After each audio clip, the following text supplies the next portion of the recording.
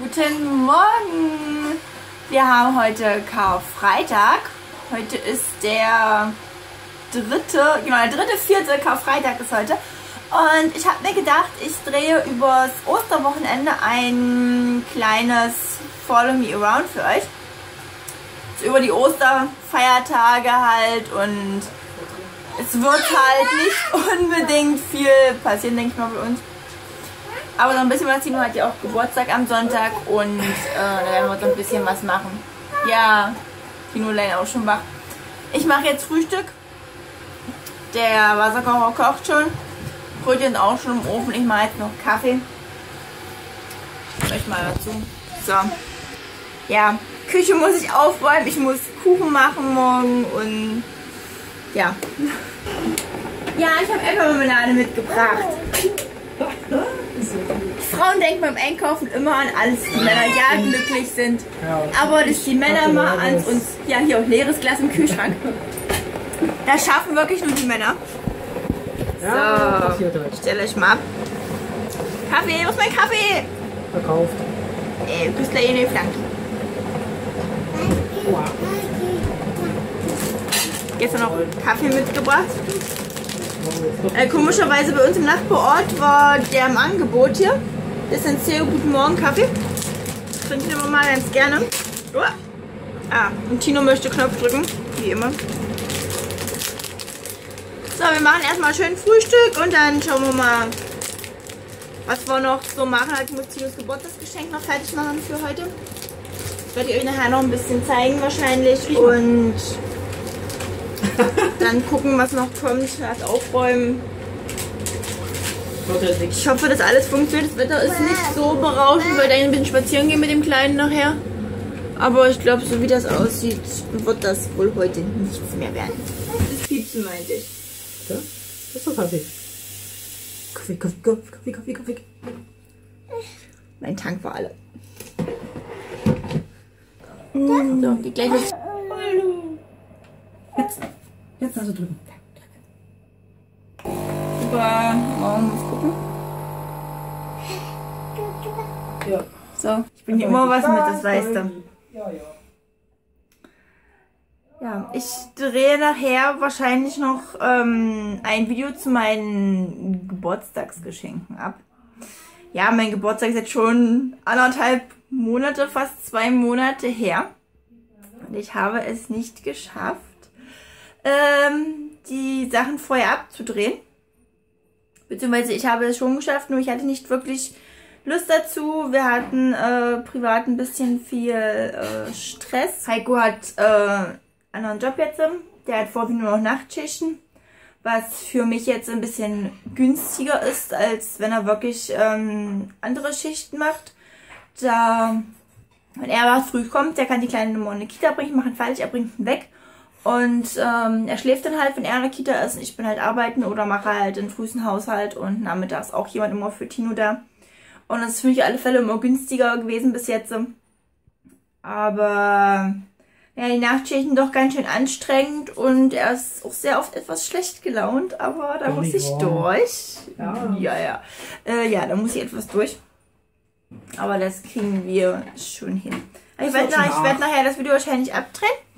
Ich hoffe, dass es nachher zu kommt. Ich werde sicherlich nachher machen, wenn Tino im Hier, Bett Kilo liegt. möchte Müsli. Tino möchte Müsli! Jo. Tino möchte Müsli! Kriegt er doch Müsli. Das ist das andere eigentlich? Soll ich euch mal unser Wetter draußen zeigen? Es regnet gerade. Guckt mal, ich hab's geschafft. Ich hab es geschafft, endlich mal eine Gardine anzubringen. Und hier hat Heiko von Lidl mal gekauft, es endlich anzubringen. Ich hab es geschafft. Im Wohnzimmer hängt's auch so. Zeig euch mal unser Wetter. Schaut mal. Geiler, ist gut. Ach du Scheiße. Das ist, ja. Ein richtig geiles Wetter. Das am Ja. Karfreitag. Das am Karfreitag und ich wollte eigentlich ähm, leider mit Tino spazieren gehen. Aber ich glaube, daraus wird nicht so, wie es aussieht. Nee, du musst so machen. Na gut. Mensch, die Brötchen.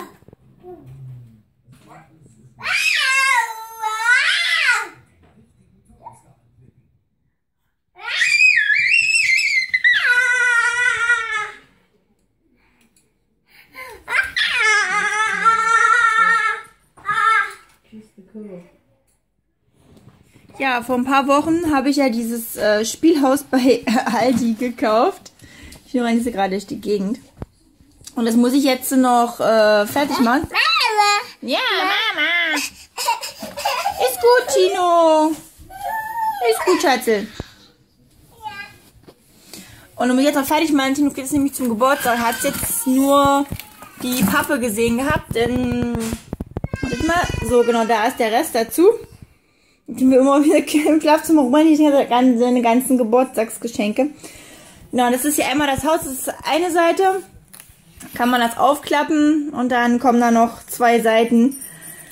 Äh, ja, also zwei Seiten habe ich schon halb fertig und wie gesagt, die Seite hier ist noch gar nicht bemalt und die andere Seite genauso wenig. Und das muss ich jetzt alles in zwei Tagen versuchen noch zu schaffen. Ich hoffe, ich schaffe das. Das nimmt sehr viel Zeit in Anspruch.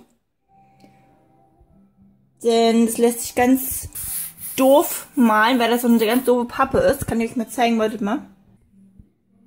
Ja, bis dieses halb fertige jetzt hier schon wird die Hintergrund fehlt hier bloß noch bei dem und wenn ich es rumdrehe, habe ich auch schon größtenteils alles fertig.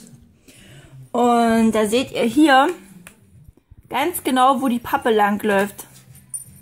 Sieht man auch ganz schön an dem, an dem Papageien hier wunderschön die Pappe lang läuft. Und da muss man echt aufpassen, dass man nicht das dolle aufdrückt und dann diese ganzen schönen Streifen hat. Das ist echt total blöd mit Malen, aber okay, ich habe es halbwegs hinbekommen. Sagt, hier sieht schon schön bunt aus. Und den Rest muss ich noch machen und ich weiß nicht, wie ich es schaffen soll. Das ist echt sehr viel und es nimmt echt sehr viel Zeit in Anspruch. Da ich mir, ich doofe Nuss, Wachsmalstifte ausgesucht habe zu malen. Warum auch immer, ich weiß es nicht. Und die lassen sich ganz bescheiden malen. Ich will es aber nicht mit anderen Stiften weil richtige Buntstifte habe ich auch nicht wirklich da. Und meine guten will ich dafür nicht unbedingt nehmen. Ich habe welche von Faber-Castell. Die wollte ich nicht unbedingt dafür nehmen, da wirklich sehr viel äh, Stift dafür drauf geht. Heiko und Tino sind wo mal gucken. Ich glaube, die sind, glaube ich, im... Ach, der Fernseher läuft mal wieder. Äh, ah, ich höre es in dem Kinderzimmer. Sind im Kinderzimmer und ich glaube, die machen Windel. Wir schauen mal. Was ist denn hier Was los? Was ist denn hier los? Ein Nacktfrosch. Oh je, das ist, nennt man Kinderzimmer. Denn Tino räumt jeden Früh das alles aus. Abends ist alles wunderbar in Kisten geräumt und frühmorgens sieht das Ganze so aus. Ja. Wunderbar. Bettzeug muss ich noch wegräumen. Das liegt hier noch von Isabel. Jetzt muss ich mal im Bettkasten gucken, wie wir es da reinbekommen. Ja.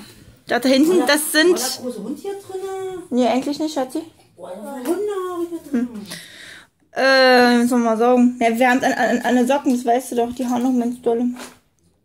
Das da hinten sind ursprünglich 200 Bälle, davon sind aber Gott sei Dank schon ein paar kaputt und welche sind noch schon verschwunden. Vorwiegend sind es aber wirklich 200 Bälle. Zeige ich mal sein Bett. Ja. Das Bett ist, äh, abends sind da wirklich nur sein Kopfkissen und seine Bettdecke und zwei Kuscheltiere drin.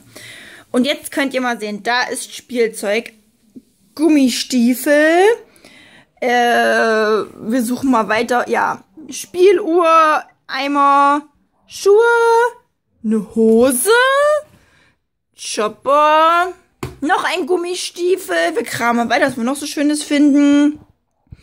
Stofftiere, ein Pinguin, noch mehr Schuhe, Decke, Decke, Decke, einen zwei Meter großen oder anderthalb Meter großen Teddybären. Ja. Schuhe. Das Bett ist voll. Ja, das Bett ist äh, sehr voll. Und das ist bei Tino Normalzustand. Jeden Morgen geht das bei uns so. Wir räumen alles abends in Kisten rein, die ganzen Kuscheltiere. Das ist alles in Kisten drinne. Und frühmorgens sieht das echt so aus. Ja. Ein Nacktfrosch. Oh, hier fliegen Kuscheltiere. Ich werde mit Kuscheltieren beworfen. So ist es nicht.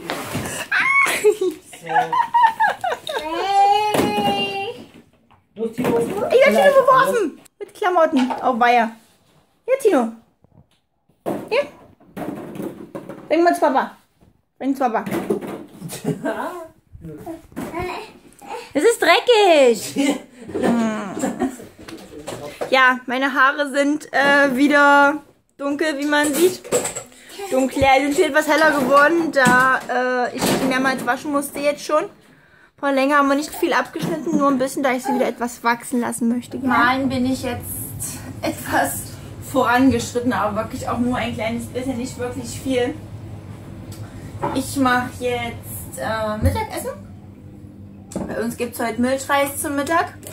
Ich habe dazu hier diesen ganz normalen Milchreis von Kaufland. Und da mache ich ein paar Zimtstangen mit rein. Und so haben wir unseren eigenen Zimtmilchreis und dann gibt es auch Apfelmus dazu. Wir haben jetzt Mittag gegessen. War super lecker. Tino hat vorher schon geschlafen gehabt. Er hat sich ein Brötchen und seine Milchflasche gekrallt und hat sich dann ins Bett gelegt. Der wollte nicht warten, bis der Milchreis fertig war. Tino halt. Äh, Heiko schläft jetzt auf der Couch. Der ist eingeschlafen und der Kammer von Nachtschicht vorhin. Und ich bin jetzt hier im Schlafzimmer und werde jetzt hier noch ein bisschen malen. Er sollte eigentlich im Schlafzimmer schlafen. Der sollte eigentlich bei Tino schlafen, damit ich im Schlafzimmer Ruhe malen kann, da das wirklich sehr groß ist. Und ich das halt äh, hier am besten hinlegen kann, da unser Esstisch auch dafür etwas klein ist. Und das Bett macht sich dafür halt am besten zu malen. Heute hat eigentlich bei Tino schlafen, aber zur Couch eingeschlafen, lasse ich ihn da jetzt auch schlafen. Ich werde jetzt hier noch ein bisschen malen.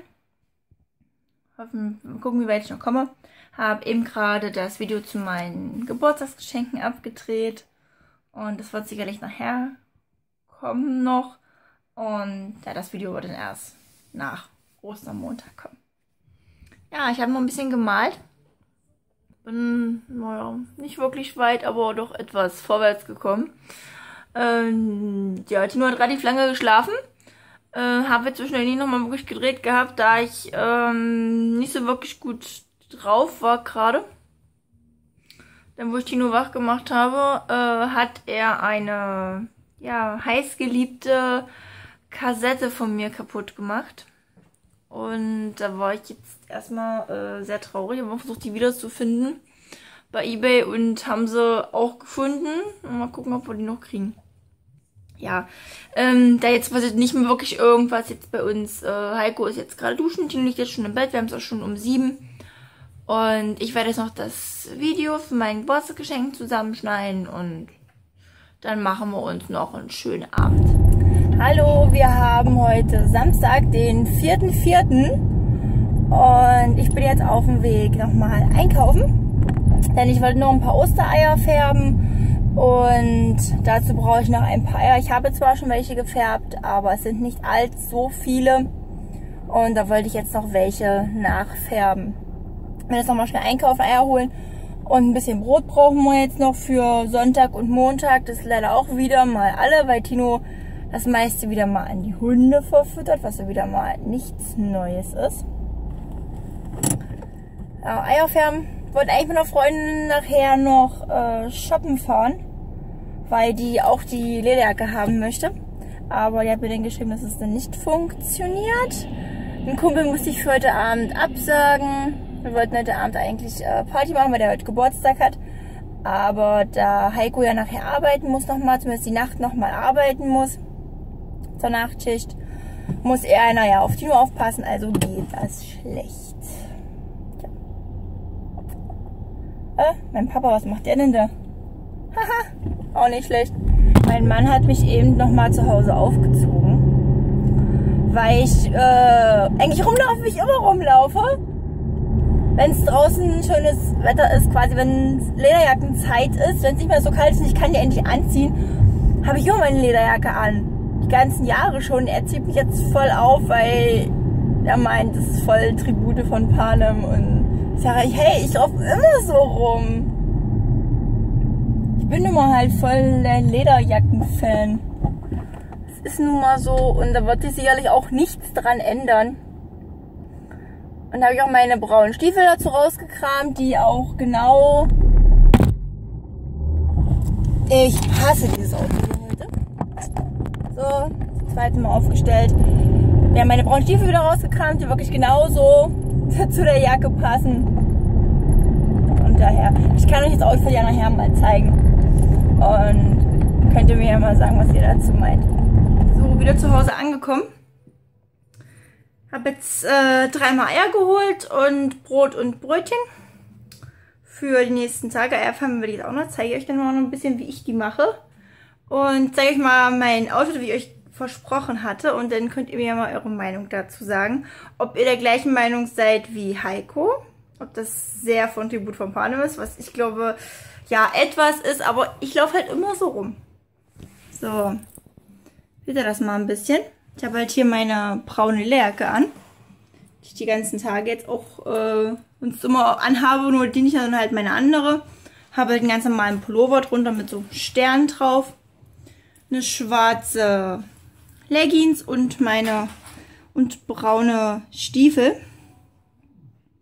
Man kann es leider nicht so gut erkennen, doch so ein bisschen. Stiefel sind halt genauso im Braunton wie die Jacke und kriegen wir es mal ganz. Ja, sieht zwar unser Bett ein bisschen so ja gut, es sieht ein bisschen danach aus, aber ich laufe halt immer so rum.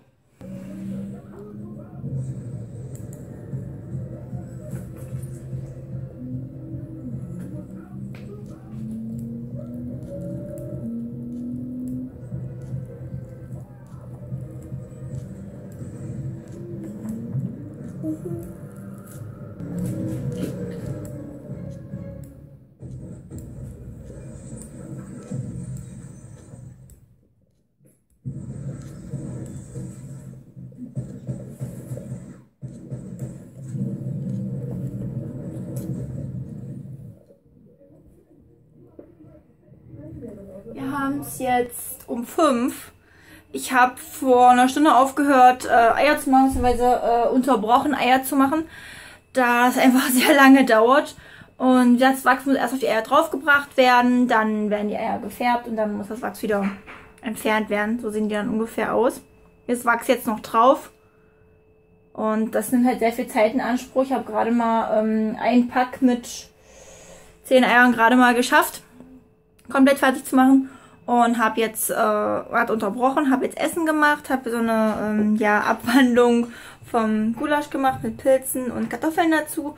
Werden wir jetzt essen und dann wird sicherlich Kim gleich wieder schlafen gehen, da er eben auch schon geschlafen hat. Denn er ist nämlich mit Heiko auf der kleinen Couch im Kinderzimmer eingeschlafen. Alle beide. Das ist jetzt hier schon fertige Ostereier. Hier ist schon kein Wachs mehr drauf. Kann ich dir euch mal schon noch mal schöner zeigen. So sehen die halt dann fertig aus. Ja, dann wächst hier schon wieder festgeworden und ja, wieder erweichen. Ja, weitermalen kann. Oh, unser Essen. Gulasch und Kartoffeln. Mmh. Hier ein Tuch. So. Das wird lecker. Jetzt einfach bloß Gulasch angebraten. Mit äh, Pilzen und ein bisschen Senf und äh, Ketchup dran. Und dann noch ein bisschen saure Sahne und ein bisschen abgeschmeckt Pfeffer und Salz. Und jo, lecker. Du willst was drauf haben? Mhm.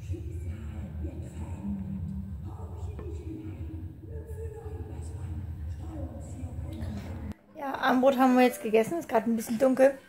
Und wir liegen jetzt schon im Bettchen und kuscheln. Na, mein Schatzi? Und kuscheln alle miteinander.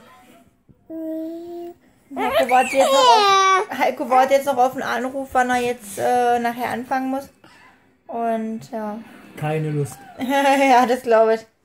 Und ich werde nachher sicherlich, wenn Heiko weg ist und Tino im Bettchen ist, noch ein bisschen die Ostereier fertig machen, Tinos äh, Geburtstagsgeschenke für morgen noch einpacken. Der Herr hat gerade einen Fernseher ausgemacht. Sehr schön. Nichts Neues. Und nur Tino? Tino, komm mal her, komm. Komm mal her. Komm mal her. Uppala, ja. Guck mal. Ja, kuschel, kuschel. Kuschel, kuschel. Ja, heute mit Bobby. Sonst schaffen wir es eigentlich immer ohne, aber der hat heute keinen Mittagsschlaf gemacht, hat die ganze Zeit in seinem Kinderzimmer nur rumgespielt. Bett raus, Bett rein, sämtliche Bücher aus der Schränke geholt und allem drum und dran und ja. Dadurch, dass er jetzt ganz schön müde ist, aber dafür noch eine Stunde geschlafen. Weil ich keine Schlafenszeit mehr war, nicht wahr, mein Schatzi?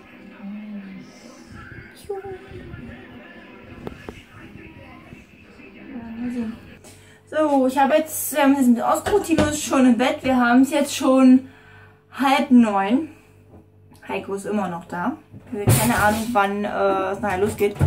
Ah, Mascara hängt schon wieder unter den Augen. Ja, wir haben im Bett gelegen und haben ge äh, ein bisschen gekuschelt, ein bisschen rumgearbeitet mit Tino. Ist schon eine Weile jetzt schon im Bett. Äh, ich habe eben noch ein bisschen gemalt. Und jetzt will ich schon mal die Muffins vorbereiten für morgen. Da habe ich diese äh, Backmischung gekauft.